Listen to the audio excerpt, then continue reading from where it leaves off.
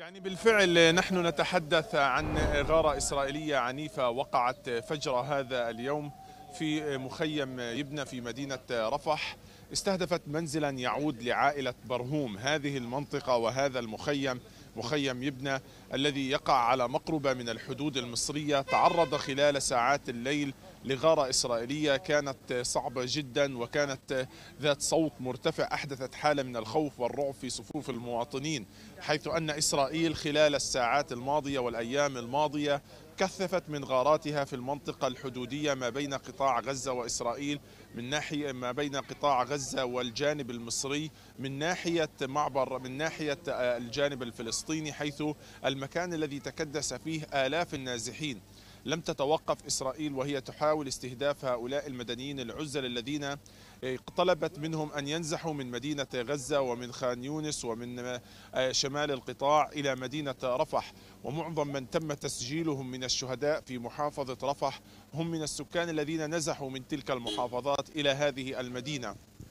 لم يتم تسجيل أي من الإصابات أو الشهداء في الغارة الإسرائيلية التي وقعت في مدينة رفح جنوب قطاع غزة. لكن سبقها كان هناك عدة غارات إسرائيلية في الأيام الماضية. حيث أن إسرائيل كثفت من غاراتها تجاه هذه المدينة. لكن عندما نتحدث عن الواقع في هذه المدينة وواقع النازحين والواقع الطبي فإن الأمور صعبة جدا. أعداد النازحين في مدينة رفح تزداد بشكل كبير وغير مسبوق في ظل انعدام كل ما يتعلق بالحياة الطبيعية انعدام كل ما يتعلق بوجود الطعام والشراب ووجود أماكن مخصصة للنازحين لأننا نتحدث عن امتلاء كامل لمراكز الإيواء امتلاء كامل للمساحات. الخالية من العراء امتلاء لبعض الطرقات والشوارع التي لجأ إليها النازحين في ظل عدم قدرتهم حتى على توفير الخيام أو توفير مكان يأويهم في الصباح من هذه الشمس وفي المساء من ساعات البرد، نحن نتحدث عن انتشار كبير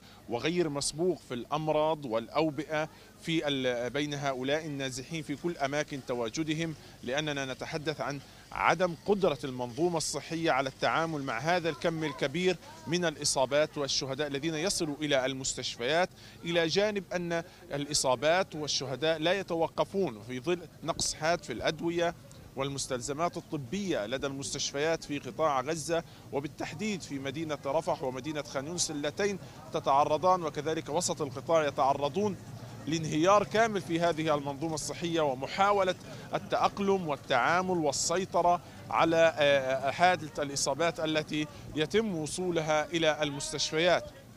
أيضا إلى جانب ذلك نحن نتحدث عن ما يدخل عبر معبر معبر رفح البري وهي 100 شاحنة لم تزد بالمطلق ولم تنقص أيضا لكن ما يصل حتى هذه اللحظة هو مياه وشاحنات بضع شاحنات من الوقود وكذلك أدوية ومستلزمات طبية وكان هناك حديث يدور بأن سيتم تفعيل وعمل معبر كرم أبو سالم ربما خلال اليومين القادمين من أجل دخول عدد أكبر من الشاحنات لكن حتى هذه اللحظة لم يتم تسجيل بالفعل دخول لأي من الشاحنات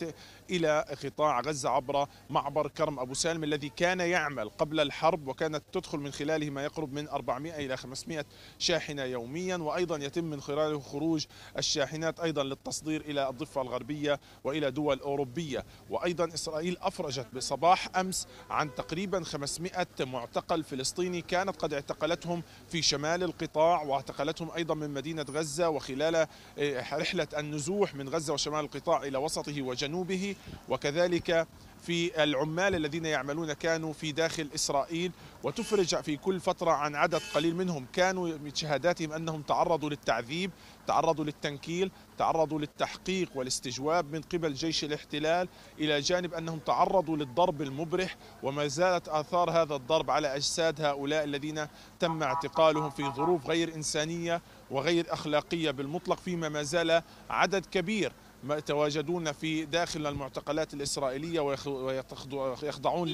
تحقيقات وتعذيب داخل السجون الإسرائيلية والمعتقلات الإسرائيلية في مشهد يعني إجرامي كبير جدا لأن مشهد الإجرام بدأ عند لحظة اعتقالهم وتعرضهم للضرب وخلع ملابسهم بشكل كامل ومن ثم إبقائهم في ساعات لساعات طويلة في العراء دون أن يجعلوهم يرتدوا ملابسهم من شدة البرد الذي يعني يضرب الأراضي الفلسطينية. هذه هي صورة الأوضاع. رفح ما زالت تستقبل